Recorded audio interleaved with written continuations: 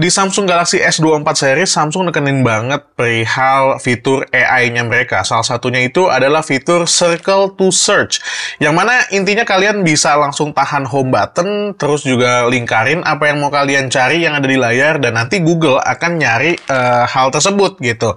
Sebenarnya ini bukan hal yang baru ya. Ini udah bisa kalian akses juga di semua handphone kalian. Mulai dari yang agak mahal, atau yang agak murahan dikit semuanya tuh udah bisa pakai fitur tersebut dengan Google Lens. Caranya buka aja Google Lens terus foto yang kalian mau cari dan voila otomatis nanti Google bakalan nyariin buat kalian.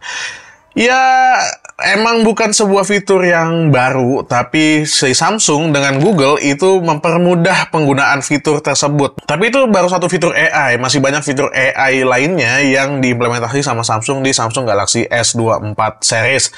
Terutama AI generative edit yang itu keren banget kayak Photoshop gitu ya. Menurut gua, implementasi mempermudah AI dalam sebuah handphone itu adalah sebuah hal yang oke. Okay. Tapi ya nggak apa-apa kalau dari kalian ada yang mikir kalau fitur AI di Samsung Galaxy S24 series itu cuma gimmick.